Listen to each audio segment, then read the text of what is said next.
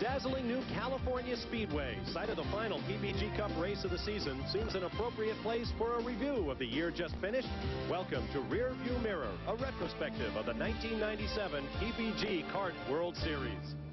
Hello again, everyone. I'm Bob Varsha. It seems like only yesterday our scene was the Metro-Dade Motorsports Complex in Homestead, Florida, as we awaited the start of the first race of the 97 season, the Miami Grand Prix. Well, that was 17 races ago, and in those 17 races, we saw terrific competition, some of the closest grids in history, three brand new race winners, the youngest winner in series history, and the closest finish in the history of IndyCars here in North America. In the next 60 minutes, we'll take a look at what we think were the highlights of the 1997 season and use those key moments as a jumping off point to talk with some of the personalities who made it such a great year of racing. We'll also talk about the equipment that carried us to the end of the year and back-to-back -back champions for the defending team titleists from Target Chip Ganassi Racing. It's all ahead in the next 60 minutes, and joining me is our regular ESPN commentary team. Let's hear from them now, beginning with my booth colleague, former series champion, Danny Sullivan. Well, Bob, in my segment, we're going to talk about the tire war that took place between Goodyear and Firestone, and it was a great battle all season long. Then we're going to go over and visit with Team Rahal. We're going to talk to uh, one of the oldest drivers in the series, Bobby Rahal, and his teammate Bryan Herta on how they felt that their season went. And then we're going to go visit with Scott Pruett. I remember he was the winner down under in Australia. We're going to find out how he felt that his season ended up. Gary? Well, Danny, I'm going to be involved in a couple of roundtable segments that I think that our viewers will enjoy. The first one involving Roger Penske and his team, drivers Paul Tracy and Al Unser Jr., reflecting on the real roller coaster ride that they've had in 1997. And then, of course, we're going to be talking with Chip Ganassi and his World Championship racing team for not one, but two consecutive years, Jimmy Vasser from a year ago, and the now reigning new champion, Alex Zanardi. Think you'll enjoy it. Jan? Gary, the Newman Haas racing team had highs and lows for 1997. Of course, the highs were Michael Andretti winning the first race of the year. We'll talk to him about it, as well as his teammate Christian Fittipaldi, who had that grinding crash in Australia. Now there was a newly crowned Rookie of the Year, Patrick Carpentier. We'll talk to him as well. And don't forget, we always like to include some technical tidbits on engines and chassis. After a break, we'll recall our first memorable moment of the 97 season and speak with the year's first two winning drivers.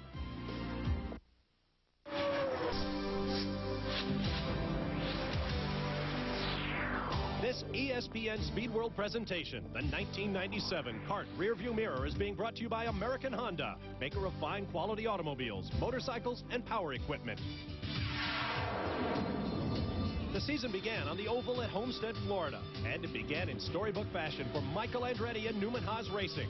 Andretti's come-from-behind win vindicated Carl Haas's decision to back the all-new Swift chassis and provided a proud moment for Papa Mario and the entire Newman Haas operation.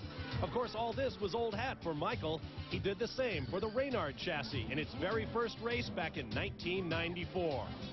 Here's Jan Beekhuis. Well, Bob, it certainly was a storybook start to the season for Newman Haas Racing. Michael Andretti joins us along with Christian Fittipaldi. And for you, Michael, that first race, I know you tested well, but did you really think you had a shot to win it?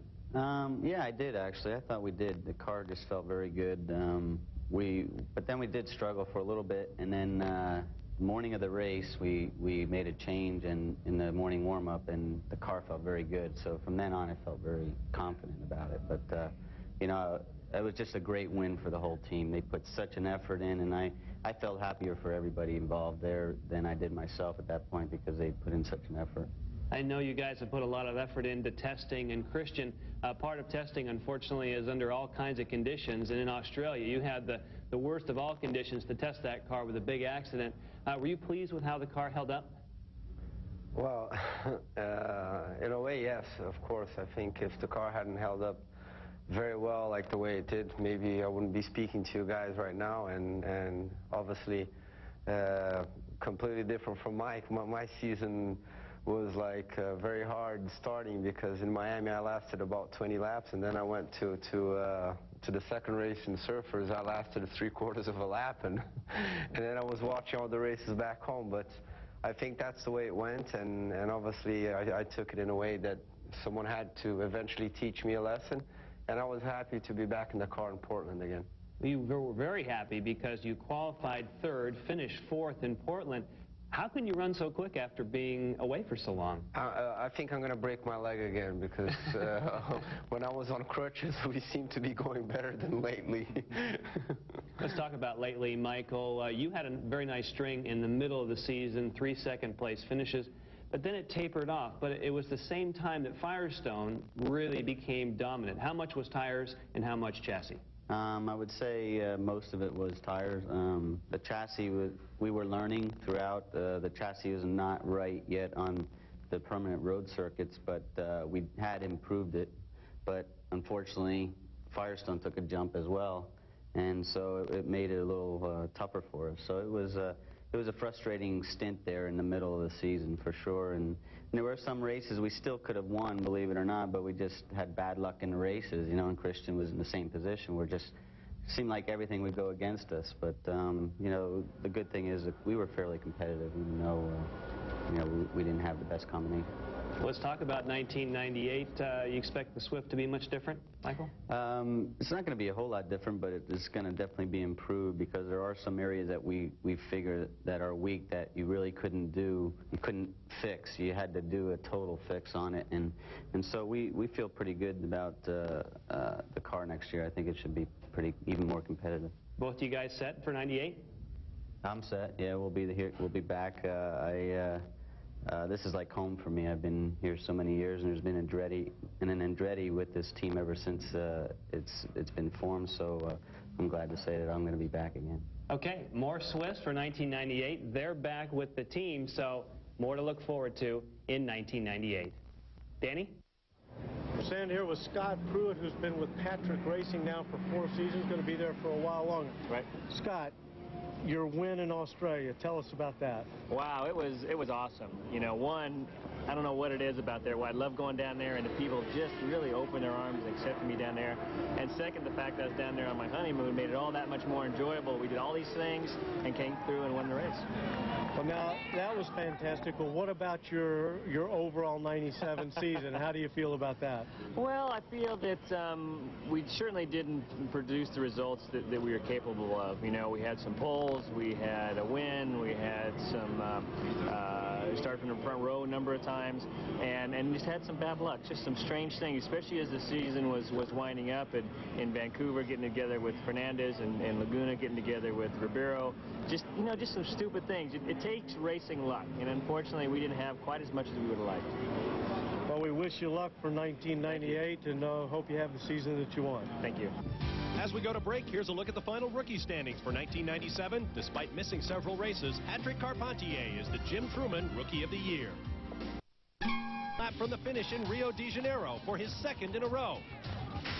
He then made it three straight with a measured drive to the win at the all-new Gateway International Raceway in Illinois. Here's Gary Gerould. But with the Roger Penske Racing team now, Roger, of course, the man who uh, calls the shots for the team with his drivers, Al Unser Jr. and Paul Tracy. And Paul, we've just seen the video of the three consecutive wins early in the season that really set a tone for you and brought uh, a rejuvenated team, I think, together. Uh, then, of course, you ran into some tough luck late in the season. I, am sure you wish you could kind of balance some of that good luck that led to the three victories with the tough luck that knocked you out on the first lap of so many events late in the year. Well, it's been tough. It's been tough to swallow, but, uh, you know, starting the year out, the team was really uh, charged up. We had a, a pretty extensive testing uh, over the winter, so everybody was, was key to try to get, get a win uh, in the columns in, in uh, 97, and, and we were able to pull that off at Nazareth, and, and that led us on to three consecutive victories, which is what the team needed to, to get charged back up. And, and I guess maybe deal with some of this hard time right now. You know, the crew is still very up. We've got a lot of testing on the plate going into 98, so we've got a lot of changes coming and, and uh, putting us in the right direction. Did, did you ever feel, I mean, did you get discouraged? Did it kind of drag you down at any point in the season? Well, I think you, you always do at the time when it happens, but you got to look look to the next weekend and, and look at where your mistakes were and look at where uh, things that happened during the weekend that were positives and uh, focus on positives and, and work towards the next weekend and the next race and the next year. We're, we're focusing now on next year. Al, with more than 30 wins in your career, but it's been a couple of seasons since you've been able to experience that elation. How has that been for you to deal with? Is that, has that dragged you down at any time? Well, it, uh, it it has gotten frustrating, sure. I mean, I can't uh, can't say that it hasn't, but uh, you know, there has been uh, uh, real reasons why we we uh, I haven't been able to go into the win column, and and most of those reasons are out of my control, and so um, uh, you know, it's just that's the way racing goes, you know. Dad, Dad's always told me when you're hot, you're hot. When you're not, you're not. And uh, last couple years, we've been we've been struggling to get uh, the burner going. We talked about the wins that Al has had in his career. Roger Penske, you've had so many victories in your great career in this sport. Has it ever been tougher to win than it is right now in CART?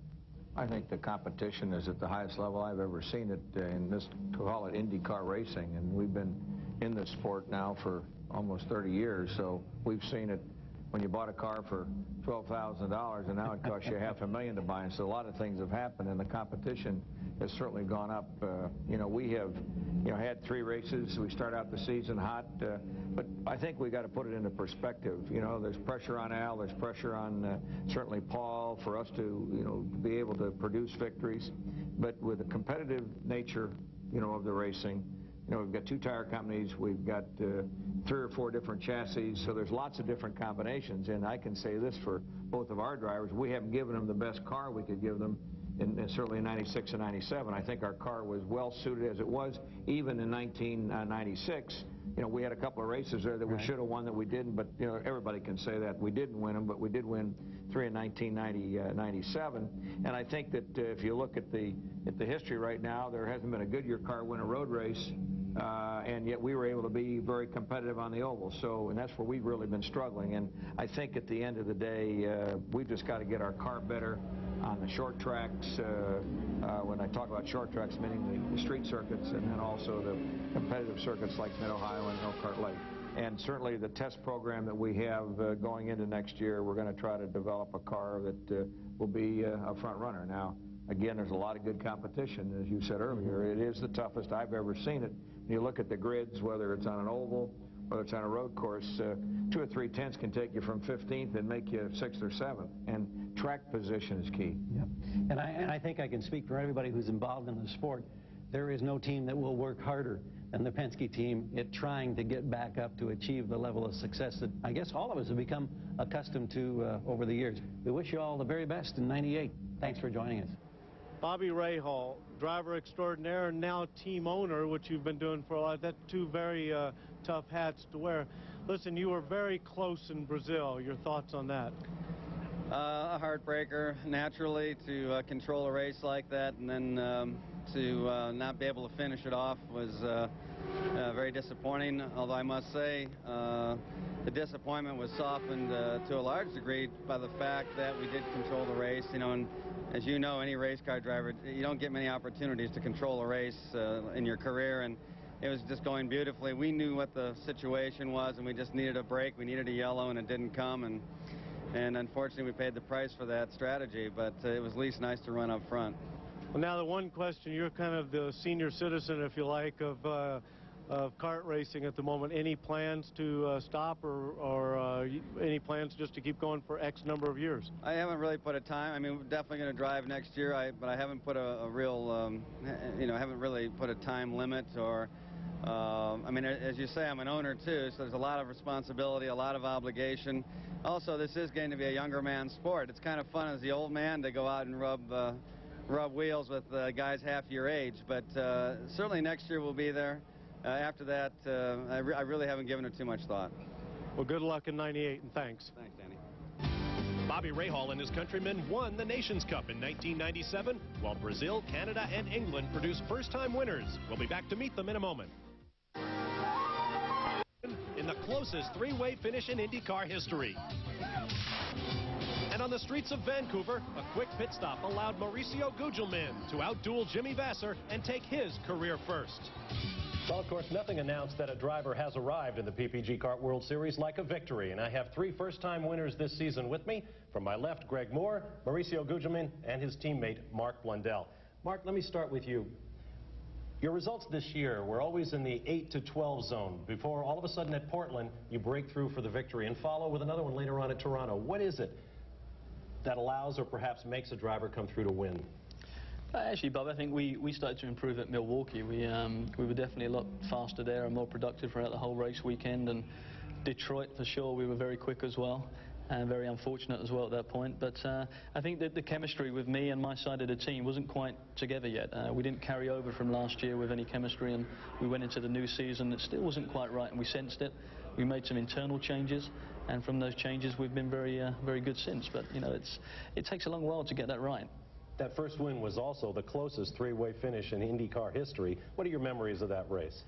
Um, I think actually probably one memory is actually just seeing Gil start to raise his hand and not realise that it didn't really win the race. But you know, that was it was a great race. I mean, fantastic one. I think really good for everybody to watch as well on TV and at the circuit, changing conditions, and to come through on the last corner of the last lap and just pinch the win was uh, very satisfying. Now, for your teammate to come through and win first among the two drivers on a team, what kind of pressure did that put on you, Mo? Of course, that puts a lot of pressure because that's your direct competition. Uh, everybody looks, well, those cars should be the same.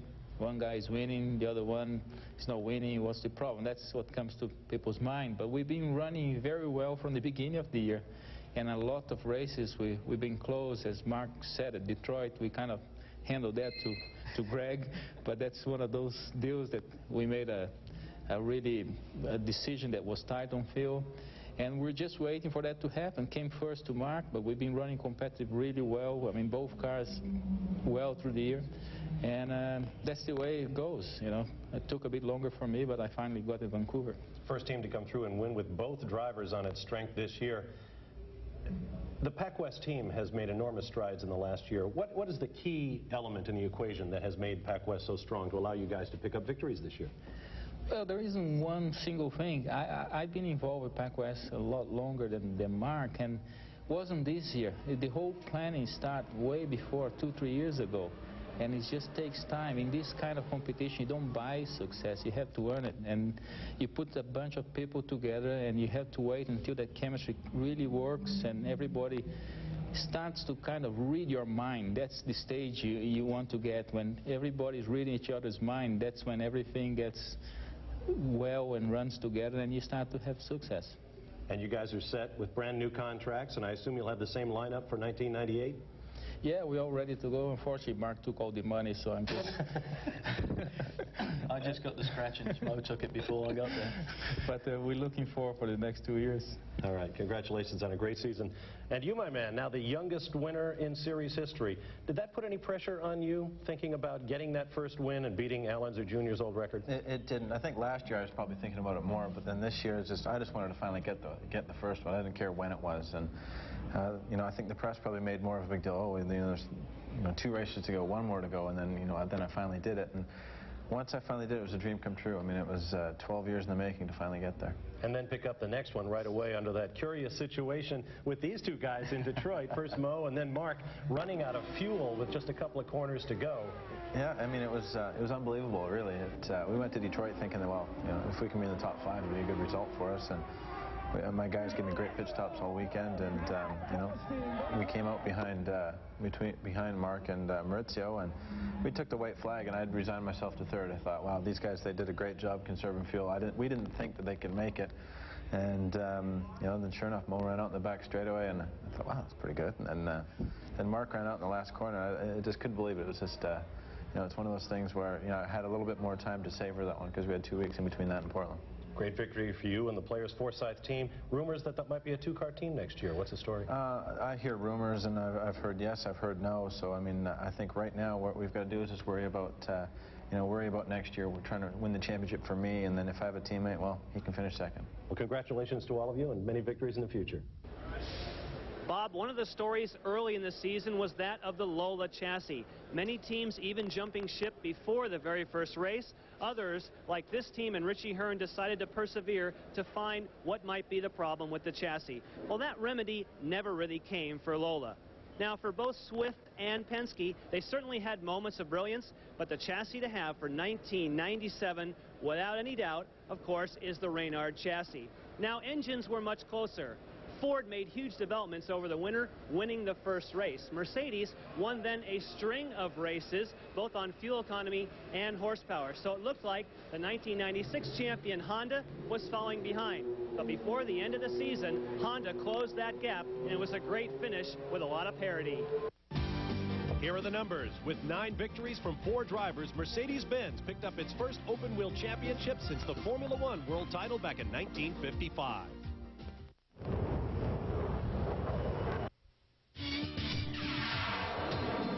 Another key element of the 97 CART season was the rise of a trio of talented rookies. From Canada, Patrick Carpentier, the 96 Toyota Atlantic champion, led strongly at Gateway for Tony Bettenhausen's team. From Scotland, Dario Franchitti parlayed his street racing experience as a member of the Mercedes-Benz touring car team into a pole on the streets of Toronto, driving for Carl Hogan. And from Brazil, Walter Salles, while driving for the modestly budgeted Davis Racing team, still was a factor in the rookie championship right down to the final race of the year. Here's Jan. With a large emphasis always placed on the overall Drivers' Championship, there's also a large focus on Rookie of the Year. And capturing the Rookie of the Year Championship for 1997 is Patrick Carpentier. First of all, congratulations, Patrick. Uh, for you, what does this really mean now to be on the same list as other Rookies of the Year, Nigel Mansell, Jacques Villeneuve? I mean, that's really got to be a thrill. Yeah, it is a thrill. It means a lot to me, especially how uh, competitive the CART series is. And uh, we've been we've had good race this year, and it was good for us. So I'm really happy about it.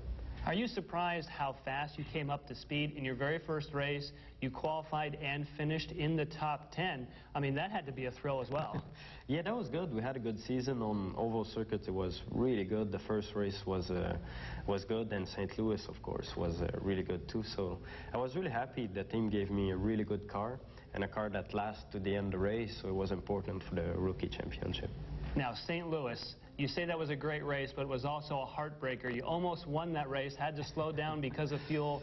How tough was that thinking you had a chance to win that first race? It was pretty tough because I argued with uh, Tony for about five laps and uh, he kept telling me to slow down and I didn't want to slow down because he said I was going to run out of fuel. But uh, when we finished, we actually only had one eighth of a gallon of fuel, so we didn't even have enough to make another lap. So uh, it was good. I was happy about second. You know, a podium in a CART series is really precious, and uh, finish second was good, so I was still very happy.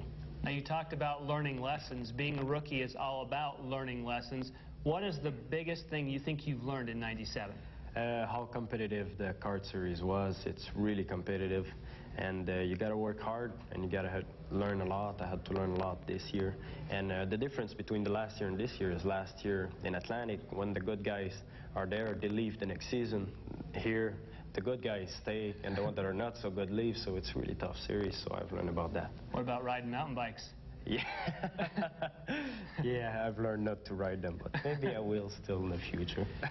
now, speaking of the future, you are billed to be a star of the future. Where do you expect CART uh, and just the overall championship and the international scope to take you in the years to come? Yeah, I hope that uh, we'll be competitive enough on the road and street circuits in the coming season to uh, to be able to fight for the championship. And I think it should be good now that I've learned a lot more this season. I'll begin the winter testing with more knowledge. And so it may be better. So if it's good on the street circuits, it's already really good on the ovals. So we should have a good chance. All right. Well, thanks for talking with us. And of course, keep your eye on him in 1998. Danny? We entered our second season of Goodyear versus Firestone. Now, the amazing thing is over the season, these tire manufacturers do a tremendous amount of testing with the teams. They're changing the compounds, the constructions. They go back and forth. And the incredible thing is they never really tell the teams what they're doing. They just come with all that information, put a tire together, and show up at that race. The very first race, Michael Andretti, Goodyear, they were dominant. Then Paul Tracy gets on a run where he wins three short ovals in a row. But Firestone came back. They won on the streets. They won on the road courses. They won on the ovals. And the incredible thing is they had a dominant run in the rain in Portland after they had a disastrous tire the year before. In my opinion, what really helped all season long was the consistency of the Firestone, the most poles and the most wins. And for the second year in a row, they won the tire war. And with their success has come popularity. At least two teams have announced that they'll switch from Goodyear to Firestone rubber for 1998. Nobody loves cars more than I do. Each one is a work of art. So when the maker of all these chose a new antifreeze, it got my attention. General Motors now uses the Dex-Cool technology of Havoline Extended Life Antifreeze in virtually all its new vehicles. The same patented formula you can use in your car for five years or 150,000 miles. So do what GM did. Switch to Havoline. I use it in my car. I only wish this were it. Budweiser. You stink! Budweiser. Budweiser. Get off the stage! Your mother's an iguana. Hey, my mother's half iguana. I'm sorry. I meant no disrespect. I never met a quarterback. Never, never, never met a quarterback I like. I want to take him out. It's sissies. They're a bunch of pretty boys. Pretty boys. No ifs and buts about it. A bunch of. Watch out. They're easy to intimidate. I can taste it when I hit them hard. Easier to dominate. Just a bunch of prima donnas. Take out the prima donna. prima donna. That's what I'm paid to do. I'm just shocked they know the word prima donna. Oh. Oh.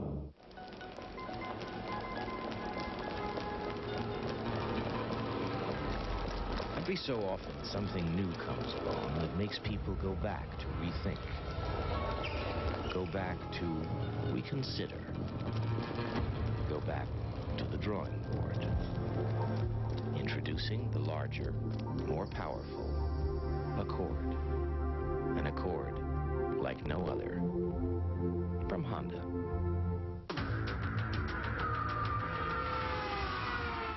For every we lead this year, we're donating $25 to St. Jude Children's Research Hospital. For every pole position we win, we're donating $1,000. And 5000 for every victory.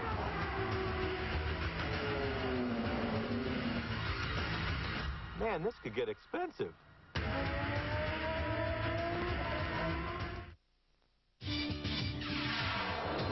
1997 CART season produced a career-best second-place finish in the championship for Derek Walker and his team. Remarkable considering the way the season began. In Homestead, Florida, driver Gil de Ferran tangled with a slower car and crashed. In race two in Australia, de Ferran had a titanic collision with Christian Fittipaldi and was lucky to be able to re-enter the race with a backup car. De Ferran then took pole at Long Beach, but fell victim to another late race crash before they got their season turned around. Joining us now, Walker Racing team owner Derek Walker and driver Gil de Ferran. Let me ask you both to assess your first year together. Your best performances, both for you, Gil, as a driver, and you, Derek, as a team owner. How was the year? You first. well, you know, driver was a bit of a problem early on in the season until we got. No, it was uh, seriously, it was a good season. I enjoyed it a lot. We had um, had a lot to do coming back from last year. You know, we didn't do that well, and had a lot of new things with Honda and Gil and the team dwelling together. So it was a good year. I thought. What did you think? Yeah, I think it was a wonderful year as well, Bob. Uh, you know, we obviously didn't score as many points as we were hoping for in, earlier on in the season, but ever since it was uh, plain sailing, really. Uh, I think um, Derek did a, a, really good thing uh, actually last year by signing everything really early, so we had a good time to get ourselves prepared for the season. We hit the ground running in Miami, and uh, it's been good ever since. You matched Alex Zanardi top five for top five. You led more races than anyone except the champion. You finished as runner-up. Is there any sense of regret of what might have been after the crashes put you so far behind after the first couple or three races of the year? Well, in a way, yes, and in another way, no. I mean, I'm a very pragmatic guy, so I mean, what has happened has happened and uh, there's uh, nothing you can do to, to, to change it. I mean, uh, little what has what happened in the beginning of the year, I felt was under my control or under the team's control, for that matter. And uh, it's just you know the the cards that we were dealt with, and I just kept my mind on the job, and um, that was that really. From the team's perspective, Derek, when you're working on the car after every race, I guess Long Beach is the is the, the real egregious example. Big crash with Salas in the practices, then crashing out of the race. That's a lot of work for the team. How do you keep the team on an even keel? Um, well, that's where having an experienced team pays off because when you've been in this business for a number of years, you realize there are a lot of highs and a lot of lows, and you you've got to be able to carry your way through the, you know, the lows. And um, full credit goes to the team. We never missed a beat, and we had uh, a lot of things to, to do in the early stages. And the momentum was really building early on, even though we had a lot of work to do.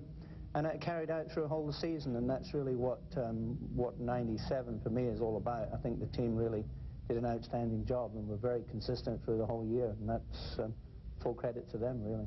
Now let's look ahead to 1998. Any changes? Well, we're definitely going to win some races. I think it's exactly right. safe to say. Gil assures me, and I've assured him we will.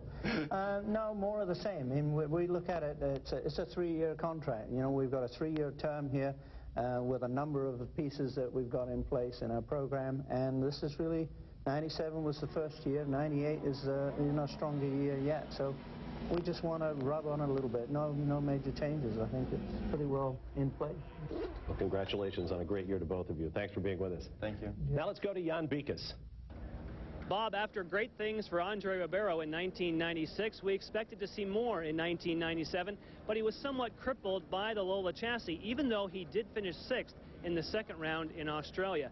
But the big moment for you, Andre, certainly was changing to the Reynard chassis in Cleveland, because at the second race, you were already up on the podium. Yeah, this uh, brought some hope to us. Of course, we it was a disaster in the beginning of the year with uh, with the performance of the chassis. We had the team ready to go. We had good uh, financial support from our sponsors, from LCI, and uh, we had a fantastic technical side, very good engine with Honda, very good tires with Firestone, and unfortunately, one element of this whole package put us on the back. On the middle of the season, we had this opportunity to run with the rain and, and uh, brought some hope, but of course, we lost the, the distance between uh, from from the others who start testing so early on the season, and uh, it was a little disappointment. Now, this guy, of course, is known for that famous pass at the end of 96, but you're with one of the best teams. Your thoughts on your 97 season?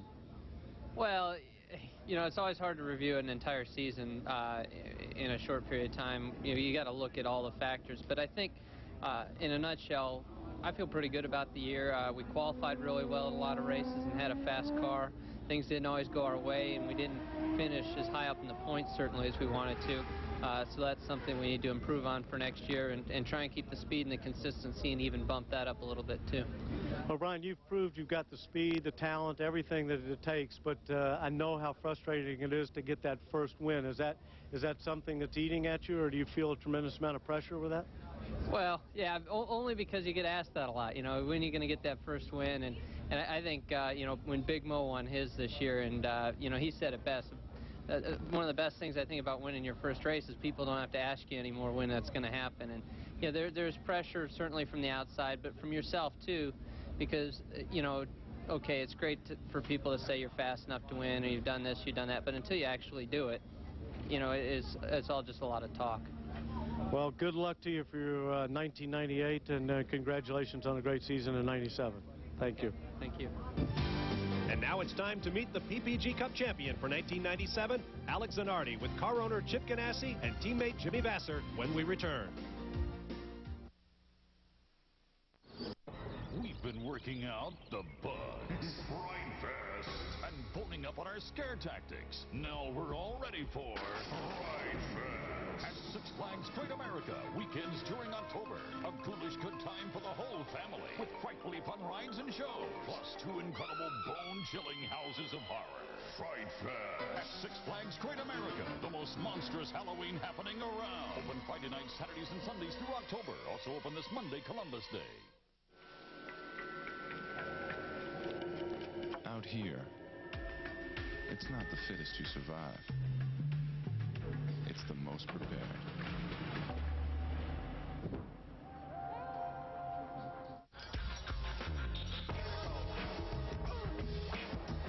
Inside the cage, there's one rule. Come strong, or don't come at all.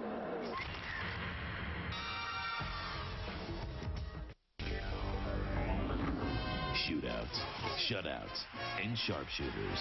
The playoffs are here, and the title march is on. Conference Finals Game 1, Thursday at 8, MLS on ESPN. Body of a pickup, soul of a race car, horsepower by the truckload.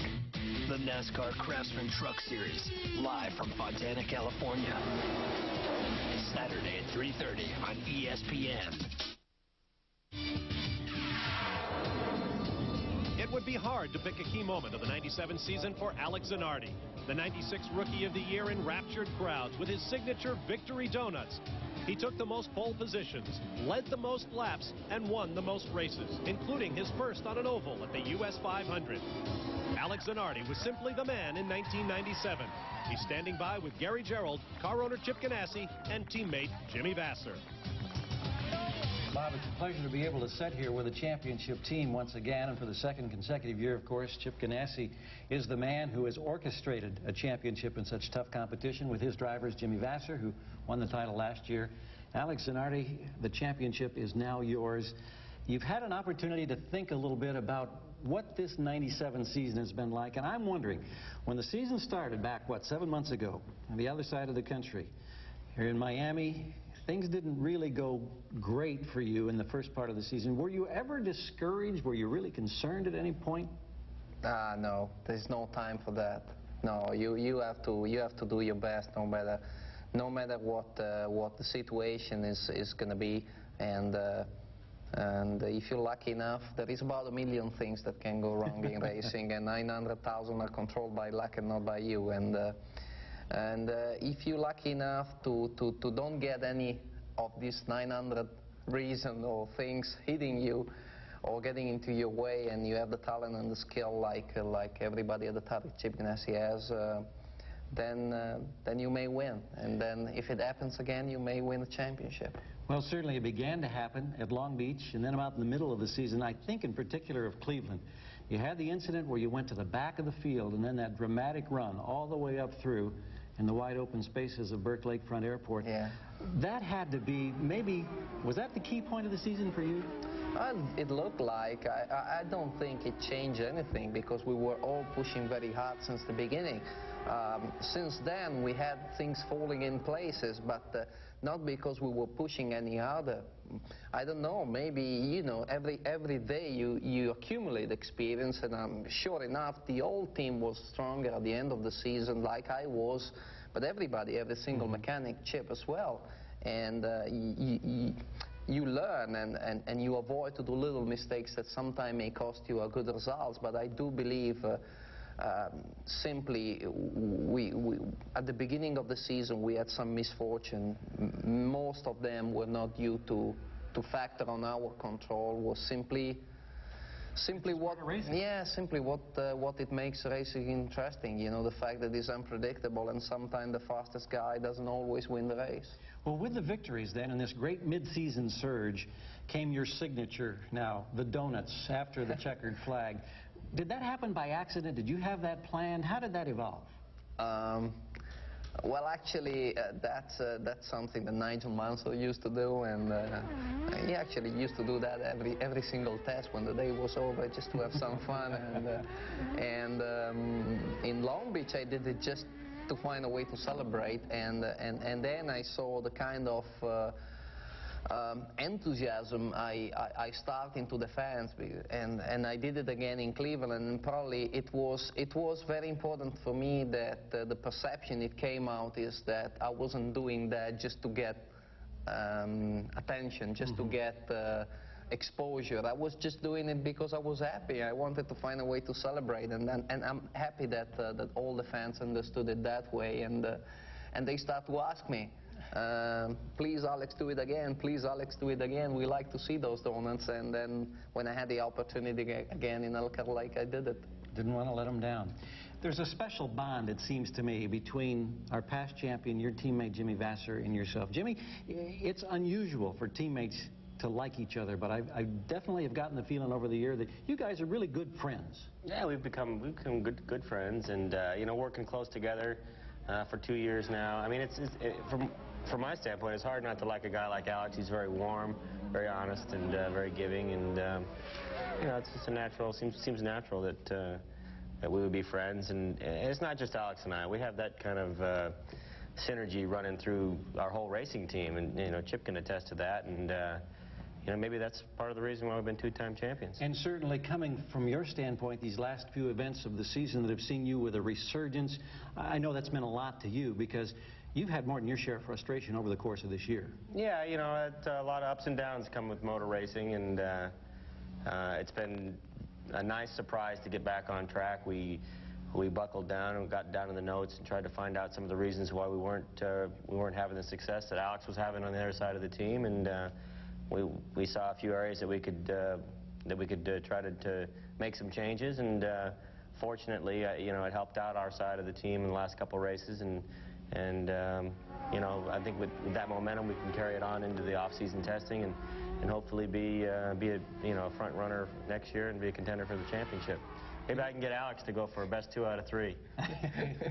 a lot at stake. And I'm sure that, uh, Chip, we don't want to ignore you. Uh, you would certainly endorse that. But I, well, a thing that kind of tugs at my mind, as a former driver, you had grand days in the cockpit when you had tremendous satisfaction. How does the satisfaction now of achieving back-to-back -back championships as an owner, as an organizer, as a manager, compare with the best days you had as a driver?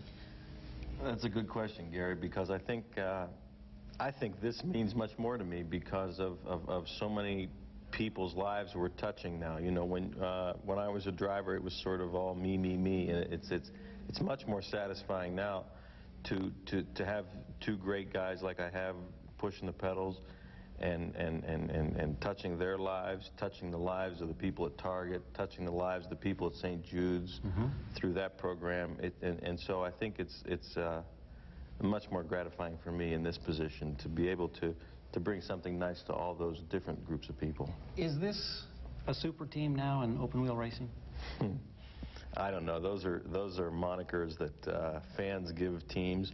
I think uh, I remember a day in uh, at Monterey in 1996. We were a super team that day, and we were a super team uh, at Cleveland this year, I think, and again in Monterey this year. I think that we were a super team that day.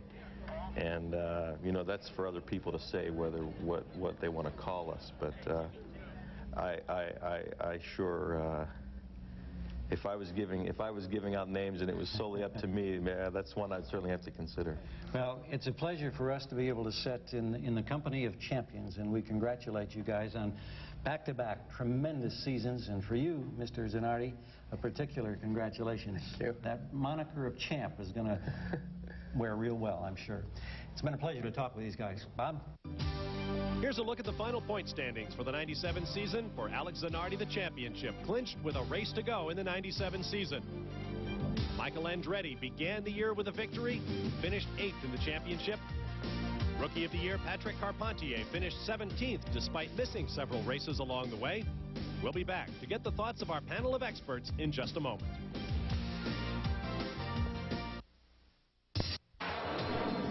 Final race of the season is our final key moment of the 97 campaign. On Friday, Patrick Carpentier crashed, putting the rookie points leader on the sidelines for the weekend. Also involved in Carpentier's accident, newly crowned series champion Alex Zanardi, whose weekend was over as well. The race itself began with a bang at the back of Juan Fangio's Reynard Toyota. Mauricio Gugelmin led away under green from the first 240 mile an hour pole in motor racing history. Turn four produced two more key accidents. Paul Tracy and then Arnd Meier and Arie Luyendyk subbing for Zanardi. When Greg Moore lost an engine late in the race, Mark Blundell took advantage of the opportunity to pass Jimmy Vasser for his third victory of the year. With that, the 1997 PPG CART World Series season came to an end here at the California Speedway. Now it's time for all of our commentators to pontificate a little bit about the season past. I'll start things off by saying you always want to see the most deserving guy out there win the championship. And to me, that was Alex Zanardi. Despite the controversy at Vancouver, the fine and the suspension, suspended suspension, I should say, Zanardi was clearly the guy to win the championship this year. So I think the story ended the way it should. Well, he certainly brought, uh, I think, a welcome uh, breath of uh, flamboyance, a lot of charisma into this series. And I, th I think we all, frankly, really enjoyed that. And I know that the drive that he made that, that I thought was key when he really started his surge at midseason. He got bumped to the back of the field in Cleveland, came back through there in the wide open spaces of Burke Lakefront Airport. That's going to be one of the big memories of 1997 for me personally. I just thought it was a scintillating drive. I think also if you look at that fine and you're talking about what happened at Vancouver, Zanardi was what, doing what he did all season long. He was aggressive. He went for it. He was clearly the fastest almost every place that we went. And that's what got him to the points lead. That's what took him there. I think he shouldn't have changed. I, I don't agree with some of his passing tactics. I wouldn't have wanted to have been Bryan Herta. but he did what he had to do at a place also like Vancouver where that's about the only way you can get by. Mm-hmm. And I think technically he had the package, and at the beginning of the season we thought maybe he doesn't have the package. It looked like he might have to have a Swift, he might have to have Goodyear tires at the beginning of the season. Ford really came back strong, but it was the Honda engine, I think, that came on later in the season, and definitely Firestone, like you said earlier, Danny. I mean, Firestone could certainly be the topic, technically, of the season that made it that much easier for Zanardi. And another of the stories has to be the competitiveness all season long, the parity, to use the cliche, up and down the pit lane. We saw that virtually any driver out there could win a race on any occasion. Even a couple of rookies, Carpentier and Franchitti, led races strongly at one point. I think you go right through the field, and, and we have in this show talked with owners, with drivers, who've all said it is tougher now to win in this sport than it's ever been. And we got to see that on 17 different occasions all season long. And look at some of the breakthroughs that we had with Greg Moore and the Pac West team uh, that were winless to that point. Uh, Gerry Forsythe is an owner, and those guys, they hadn't been there. And here they go, and boom, they're in the winners column, and they did it in a very convincing fashion on more than one occasion. So, you know, you could say one time, well, he got better fuel mileage, but you couldn't say that overall because they came back and won it again in uh, strong style. Well, does that, I, I can't help but wonder, has the balance of power shifted? in this sport uh, from what we've seen in years gone by because it wasn't that many seasons ago. It was strictly the Penske team that dominated, flat dominated. I, Not the case now. I think what's happened is there's a lot of good people out there, and I'm not just talking about drivers. I'm talking about team managers, chief mechanics. They've gained experience at Newman Haas and Penske, which were the strong ones, Pat Patrick from years ago. And what's happened is they've all come together. There's more sponsorship than we've seen in years past. Reynard has a very good chassis. Lola had one before. They're going to be back. And the engine parity that was out there as well with the Honda, now with Mercedes, Ford, Toyota's coming on strong. You know, having said all of that, there's a lot to choose from, and that uh, kind of equalizes the playing field. Well, now we begin the long off-season of testing. When do you suppose the 1998 scenario is going to begin to come into focus? Well, we know it's not going to be the first race uh, because in 1997 we thought we had it all figured out, that it was going to be the Swift, like we said. Uh, Penske looked good, certainly on the short tracks, on smooth ovals, but it wasn't until half season that we really saw what was going to happen. But I think what happens when you have this kind of parity that Danny was talking about, if somebody misses the mark by just a little bit, it was Lola this year, certainly it was Penske at a lot of racetracks, and certainly Toyota. Um, if you're a little bit off where you need to be, I mean, you're, you're just way out to lunch. So if they're going to try and have the parity, you know, come to the level and everybody have a chance, you've just got to have it right on. And we have something that's going to be really tough next year. There's a 19 race schedule, and people are starting testing right here now, right after the race that just happened. They're, they're already testing for 1998. So you have to have a strong budget, and you have to have consistency, and you have to be able to maintain all the way through that period. That's going to be tough. Well, that's the story of the offseason. That story is about to unfold, and we'll be watching it closely. I'd like to add a personal note. This has been my first full season here on the PPG CART World Series broadcast team, and I'd like to thank all of you three guys and Jack Arute, who's not with us here this weekend, for making it a great ride for me. We'll be back in just a moment to wrap things up. From California Speedway, stay with us. The Transamerica. Coverage continues today at 5.30 on ESPN.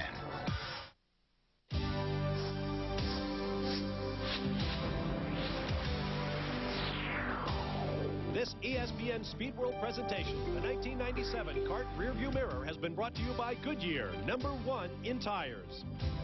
Here's a look at the 1998 CART schedule. 19 events at all. It all begins with testing. It's known as spring training, the first week of February on the newly reconfigured oval at Homestead, Florida. Two new events include an oval at Montegi, Japan in March and a street circuit in Houston, Texas in October. Who will be driving for whom in 98 remains to be seen. Announcements are expected throughout the winter. We'll leave you with a tribute to our champion, Alex Zanardi. I'm Bob Varsha. Until next year, so long, everyone.